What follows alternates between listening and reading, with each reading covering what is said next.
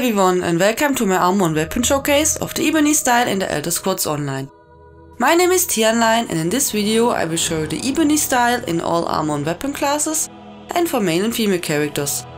Take a look in the description if you want to go direct to specific armor or weapon. You can buy the Ebony style with writ vouchers from the Mastercraft Mediator Rolis. There you can purchase Ebony style chapters or the complete Ebony style book. As a crafting material you need Night Pumice, which is also for writ vouchers at the Mastercraft Mediator available. Enjoy the video and it would be awesome if you subscribe, like or leave a comment. I wish you a nice day and until next time, bye bye!